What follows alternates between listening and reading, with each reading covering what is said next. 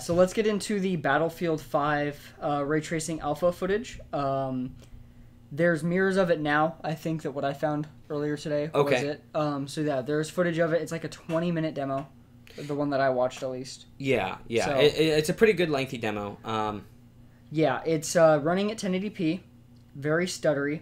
Uh, sounds like it's running on a 2080 Ti. We can assume. Yeah, Yeah. I mean, what else would they probably even use, Yeah. right? You know, like Well- if you're gonna, if there's gonna be any footage of it, it's mostly gonna be done on a 2080 Ti. They're probably not capping anything I would agree, except that we're seeing 2080s.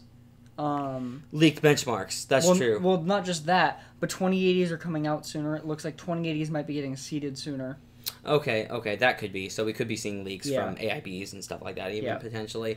Uh, and, and we'll show you some of the footage here, guys, if we if we can find a proper mirror of it that not completely horrible. But uh, a lot of them are really compressed and just don't look that great.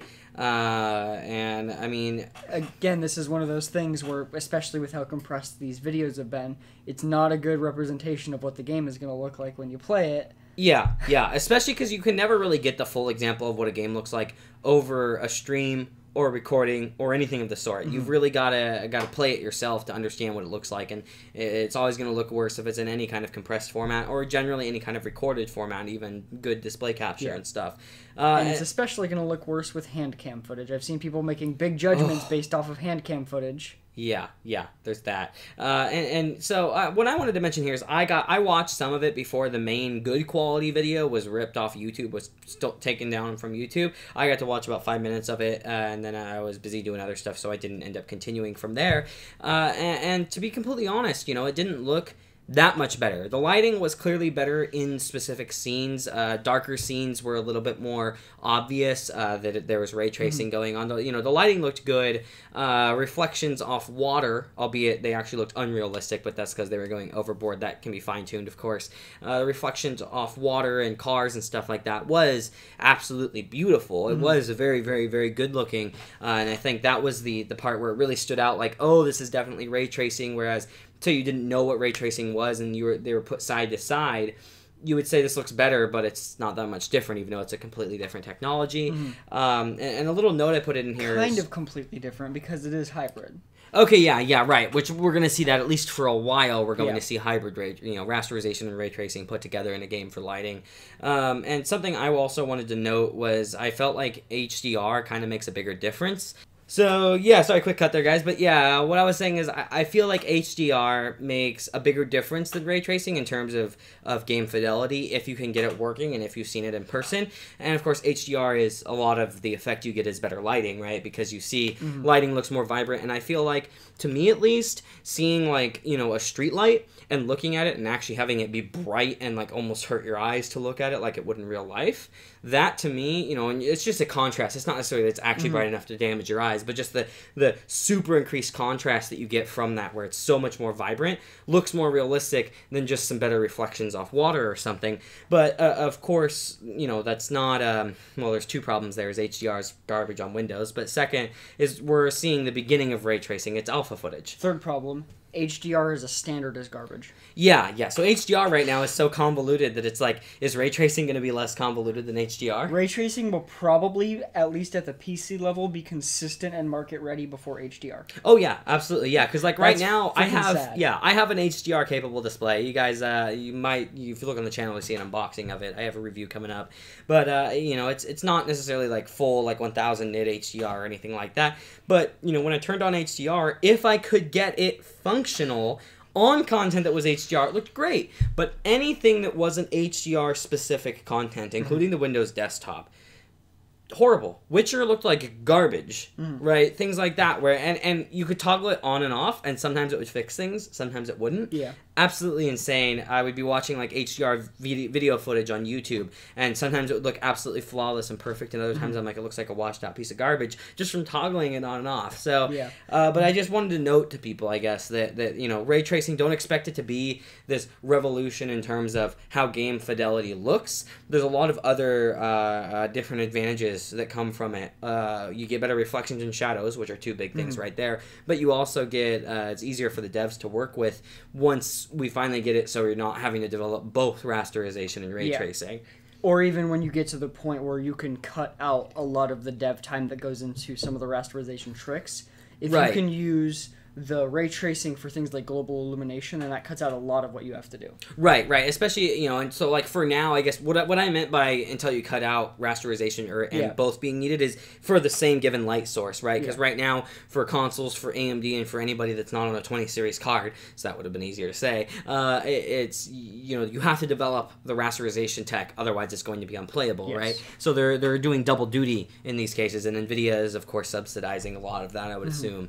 Um, but it was just interesting to see some of that. Like I said, I'll try and get some footage that we show up there for you guys. Uh, you know, if we, if we don't, and we couldn't find anything that looked Yeah. halfway decent. So, Yeah. um, just in general, something to keep in mind for ray tracing, both for now and for going forward, and what we see it get adopted to.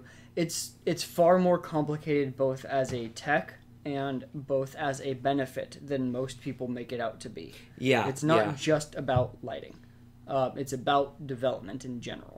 Um, and we won't And- see and the in terms fruits of of, that for a long time. And in terms of like effects of how things look, like I said, reflections Mm. and shadows are more important than just how well the lighting is distributed on the brick floor that you're walking across, right? It's it's the differences where you get you know a little puddle on the ground that is reflecting light in different directions, Mm. and uh, and you know you're wearing your player's wearing a watch, and as they move that watch up, Mm. you know you get to see exactly what the light's doing, like it would in real life. And if we can combine that with HDR, Mm-hmm. that's when we'll see the real big differences. Whereas I can imagine a situation where you have a side by side comparison, both perfectly imagine if it was perfect HDR displays, ray tracing on versus off, it would be much more prevalent Mm-hmm. and obvious how much better ray tracing is in that situation versus a non HDR display. Yeah.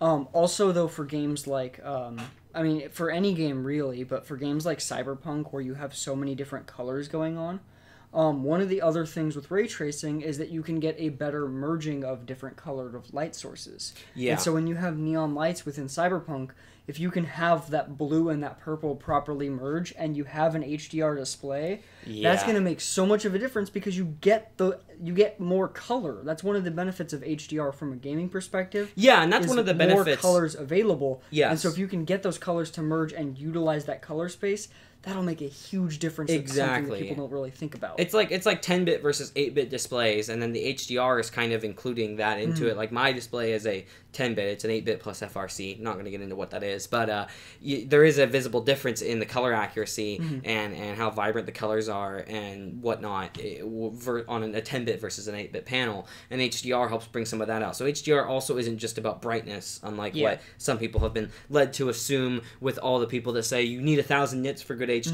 Mm-hmm. which the truth is you don't. There's different aspects of, of measuring nits in different Yeah. different areas of the screen, how long they have to maintain the brightnesses, Yeah. and H- so and this goes back to HDR being such a complicated standard because HDR for photography is just contrast. It's just dynamic range as, as what it says. yeah, yeah, Whereas HDR for gaming and video is, uh, as part of the standard now, it's color depth, it's brightness, it's contrast, it's all by the VESA things. standard, we should Yeah. say, yeah, what they what they've uh, you know classified as it. And uh, also, I wanted to mention something that Daniel and I both I think agree on here is ray tracing tech is going to be much more important in a single player based game. Mm. And so when like Shadow of the Tomb Raider comes out and the ray tracing is actually polished in it versus Battlefield, it's going to be a much bigger deal because you play those games and those are the games that I prefer, and you you play those for the immersive experience, Mm-hmm. not for the fast paced action stress level experience, right? Yeah. And so, you know, in Battlefield, you know, things like that don't make as big of a difference. Mm-hmm. Whereas, like, oh, the cool, the puddle reflects nicely, but you're not going to pay as much attention to that. Whereas there are, you know, given moments in a lot of single player games like Witcher and Tomb Raider where you stop and you just go, I just want to look at the scene for a moment and see how pretty this is. You don't have time to do that. In but even even beyond game. that when we when we finally reach the point where ray tracing is the primary display method um, assuming that consoles get ray tracing which would be the thing required for eventually that, that will happen. probably happen too. um, assuming we get that then games can be designed around ray tracing and we'll get environments that are better for that Yeah, and we'll get advantages in FPS games as an Mm-hmm. example. Battlefield like games where reflections might be a bigger advantage of using vehicles to see around corners, Mm-hmm. right? And that is actually a little bit of a concern that came to my mind uh, in a competitive game is people that don't have ray tracing might be at a disadvantage in those scenarios. So Mm-hmm. if it's a highly competitive game, this is why games like CS:GO tend to stick to the same thing for so long and like overwatch tend to stick to the same thing in terms of graphics and stuff like that for so long is ultra wide. It, it, right, yeah, but it can mess with the the competitiveness of the game, right? Yeah, and I Um, mean they can easily make it so that for tournaments you can't have that.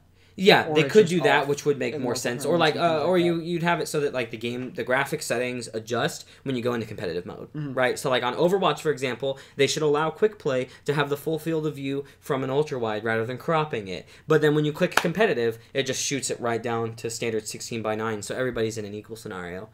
Um, Or they could just give you 21 by 9 and let the field of view cap out at a certain field of view. So you can still get that field of view on 16 by 9 I see what you're saying. Yeah, yeah, instead of yeah. punishing people for using 21 by 9, which is what they currently do because they cut off your vertical field of view. Yeah, if you set it in 21 by 9 mode. Otherwise, you're cropped in with black bars to standard 16 by 9. Yeah. Horrible. It's really dumb.